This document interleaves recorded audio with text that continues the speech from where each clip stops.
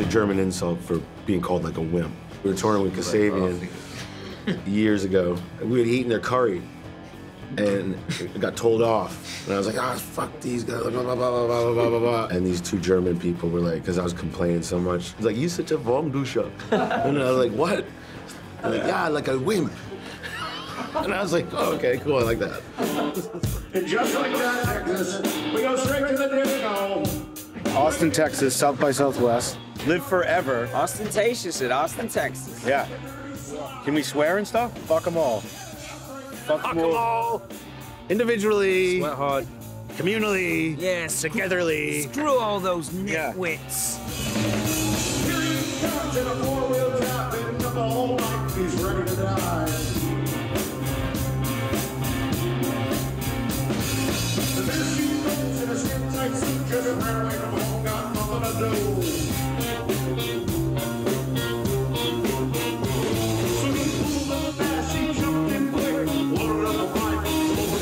the actual band just started as like a an improv thing, kind of like on one night. I met Clams um, at a party and I was playing bass in some kind of really indulgent jam. And this Clams was sort of like standing there, like looking at me. I wasn't looking at your bass. Yeah. He's like, Do you want to be in my band? And I was just like, Yeah. And then Adam joined, then Marley joined, Blue joined, and uh, the Wither, who's not here right now, and he came along at some point.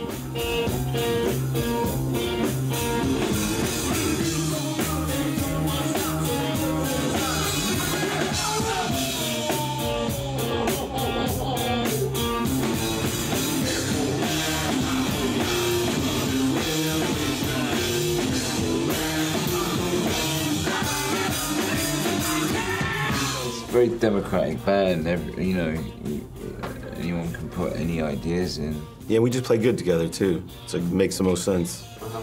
You just get in and, and play. So there's a weird energy with it. And that's probably why no one's quit. For me personally, I don't get it in the other projects. I get a different version of it, but mm. so it's kind of like a, a different high in a, mm. in a good way. Austin, let's go.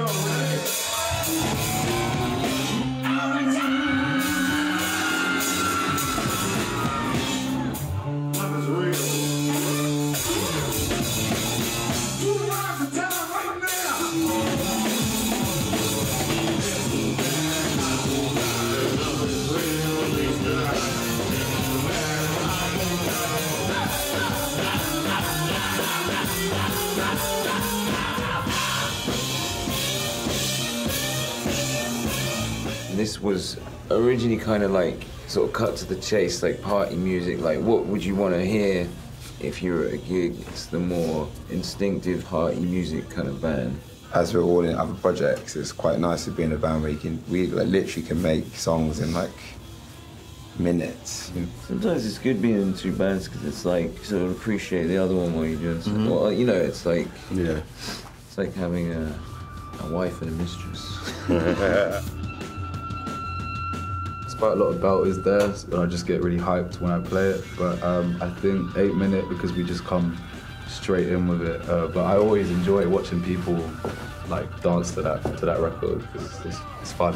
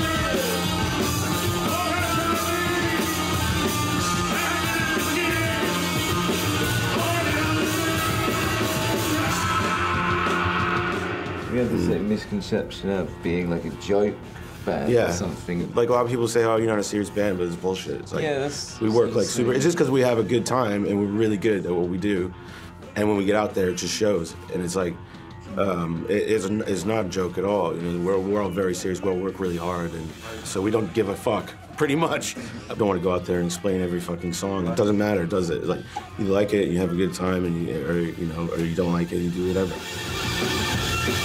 Thank you.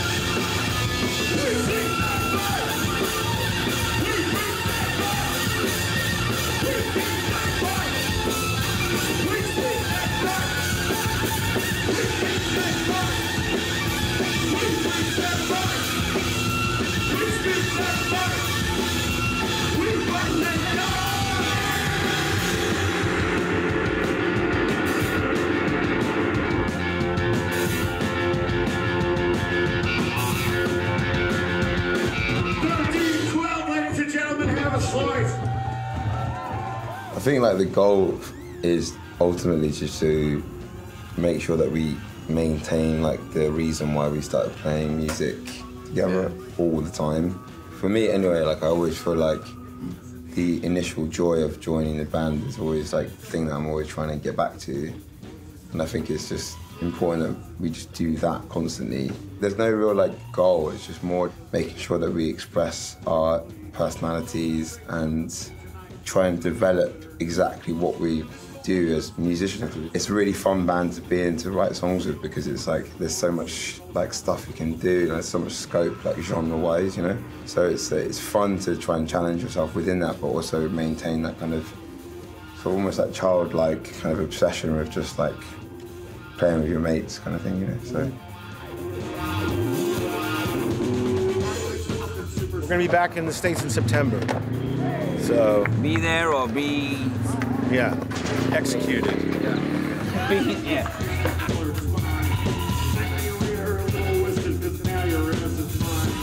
Disco peanuts, ladies.